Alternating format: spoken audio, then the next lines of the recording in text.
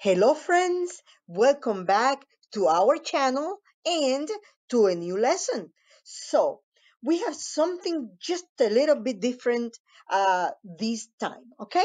And the title, let me mention the title first, College Roommates. That is the title of our listening activity, okay? So let's go ahead and go to our clear learning target.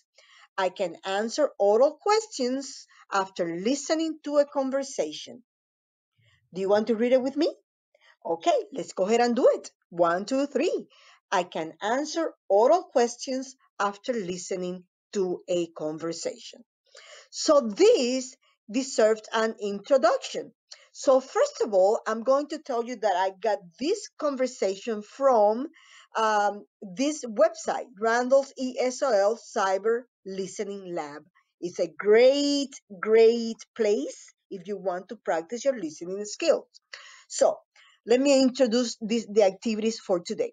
So first, you're going to watch a very short conversation between two friends. And after that, there are six questions. Now, the questions are going to be oral and I'm going to only ask them once. Okay? So you have to listen carefully. First to the conversation and then to each question. Now, my recommendation, friends, is that you take some notes um, so that way it will be easier for you to remember some of the details. Okay, uh, remember the questions will be oral, but your answers need to be written down. Okay, are you ready? Okay, so we are going to begin with a um, with a small activity. This is a warm up see how we do it. So the first thing that I'm going to ask you is look at this illustration and name five different things that you see in this picture. Okay, so just pause the video and come back to our lesson whenever you're ready.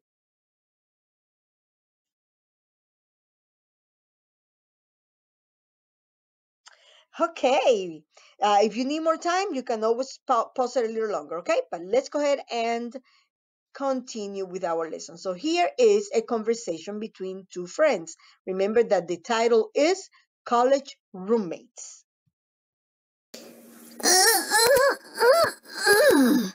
it's good to be up. What a beautiful morning. Uh, it's a quarter to two. It's not the morning at all. What are you doing in the kitchen anyway? Well, I'm going to make breakfast and check my email to see if anyone has responded to my advertisement for a new roommate. Right. right. What do you mean, right? Well, listen, who's going to want to live with you? You can't even take care of yourself. What are you talking about? I get up early every morning at six o'clock. Uh, add about six hours to that. And I always make nutritious meals. Uh, I don't think McDonald's Big Macs and fries count. And I keep my room very tidy. Uh, I think I saw some old dishes, empty pizza boxes, and some real dirty socks under your bed. And I go to bed at a very early hour. Do you call midnight early? Listen, give it up. Unless you make some major changes in your life, your only companion will be your pet fish, Ralph. okay, I hope you were able to enjoy our uh, video. Now we're going to begin with our questions. So remember, I will ask the question orally and then you can pause the video to uh, give us your answer, okay? Okay, so let's go to question number one. Question number one. Listen carefully and then choose your answer down here. Okay, so this is where you are going to enter your answer every single time. So here we go. Question number one. What time does the man really get up in the morning?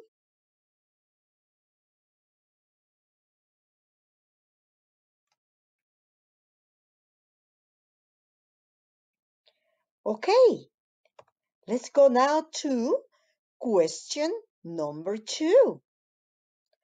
What does the man usually eat?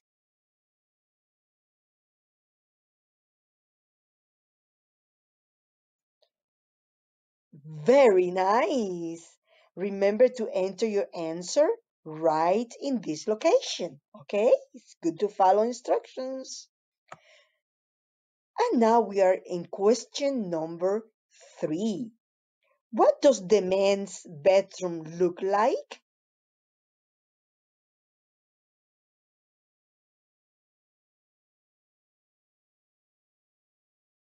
Okay, let's continue. We are now doing question number four. What does the man have under his bed?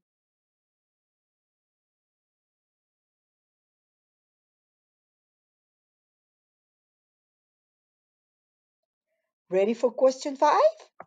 Here we go. What time does the man go to bed?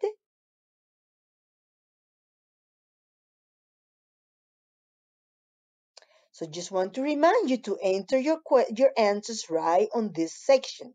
Okay? And here we have our last question. Question number six. What do you usually eat for dinner?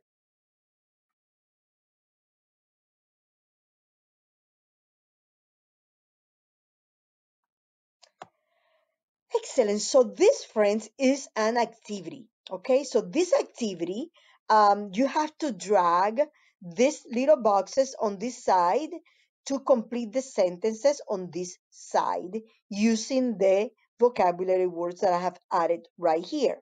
Okay, now to complete this activity, you your PowerPoint cannot be on presentation, meaning that it has to be like this, and then you can just click on it and drag it to complete your sentences.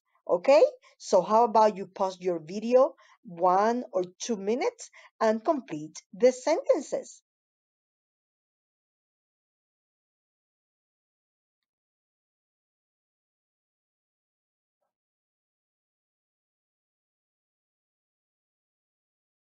So I am going to go ahead and read the sentences for you. And if you want, you can repeat after me. How did you make that blank salad? If there are any blank problems with the apartment, please let me know. We want you to be satisfied.